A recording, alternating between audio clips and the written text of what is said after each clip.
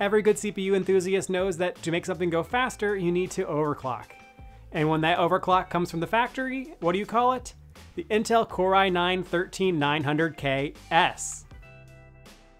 An upgraded version of the 13900K, this version comes with higher performance, a higher price tag, and hopefully the performance crown. Intel turned the dial on the 13900KS up to 11 in order to achieve maximum performance. But at what cost? And taking a quick look at the system specs, we are using an RTX 4090 to hopefully minimize any bottlenecks that may occur, as well as 32GB of DDR5 6000 memory, a Noctua NH-U14S, as well as running Windows 11. And moving over into the gaming benchmarks, and we can see at 4K gaming, even with an RTX 4090, if your priorities are resolution and quality settings, you're not going to notice much of an upgrade with the 13900KS, as pretty much anything you'd be cross-shopping this with is going to be plus or minus 5%. Still, the 13900KS is in the lead. Moving over into 1440p though, and that lead is now over. The Ryzen 7 7800X3D is the best gaming CPU you can buy right now, and it shows, though in this case only being about 2% faster than the 13900KS, so pretty minimal.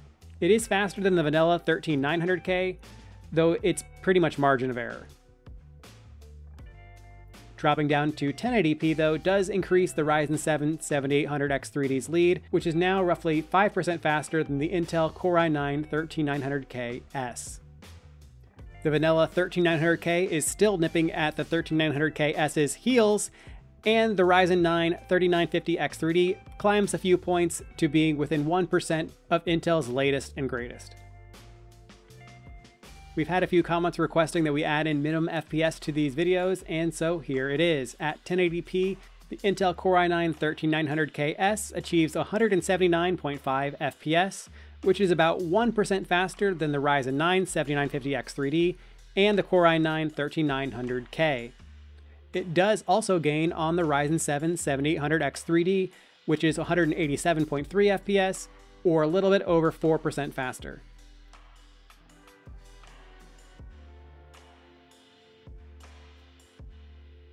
Moving down to the least GPU limited 720p, and the Core i9 13900KS is about 1% faster than the vanilla 13900K.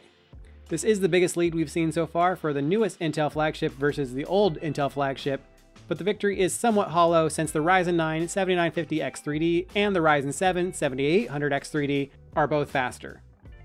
For many, this may be a little bit of a moot point since all these chips are achieving over 250 FPS at this resolution, but it still stands that the Ryzen 7 7800X3D is the best gaming chip. So was all that extra effort that Intel put into creating this latest chip for nothing? Well, not quite. When we look at application performance, we can see that the Core i9 13900KS is indeed the fastest CPU available it being more than 3% faster than the vanilla 13900K, a little bit more than 5% faster than the 7950X3D, and a staggering 40% faster than the 7800X3D. So if you are looking for the fastest CPU for general application performance, the Core i9 13900K is probably your best option, at least at stock.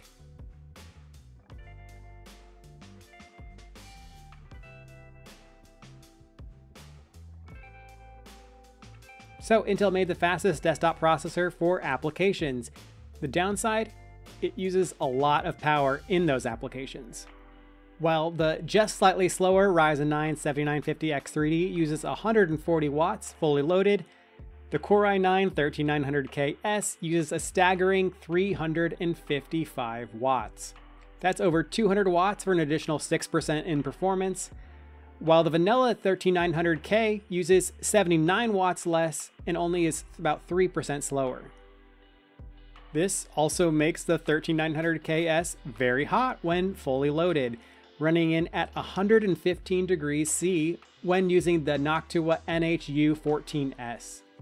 And while this might seem unmanageable, and it kind of is, it's actually not all bad news when it comes to gaming efficiency.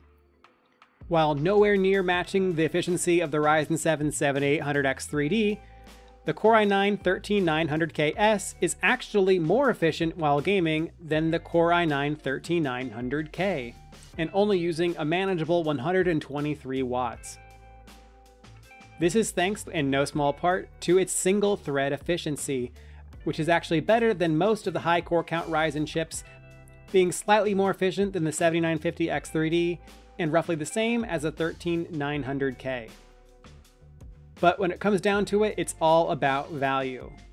Looking at application performance, where the 13900KS performs the best, and at $800 we can see that the 13900KS is not very appealing.